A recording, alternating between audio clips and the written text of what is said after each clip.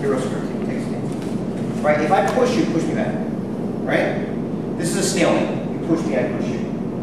Right? You push hard, right? Mm-hmm. Okay? As soon as I go to the 45, right? Push, push, push. As soon as I go to the 45, he's off balance. So in other words, if that's north, that's northeast, and that's northwest. You want to push people on the 45s, northwest and northeast, not straight north. No offense to Jan, but you know, people spend like 30 years trying to push hands, just so they can learn to go here and push you, as opposed to here, right?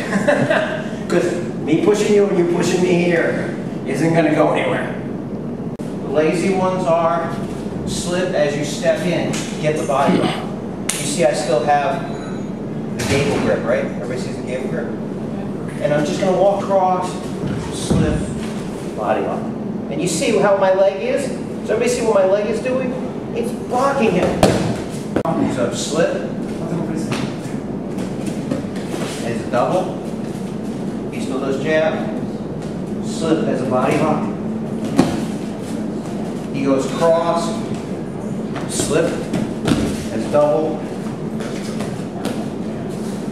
slip, and body lock. You see how my leg finishes this really?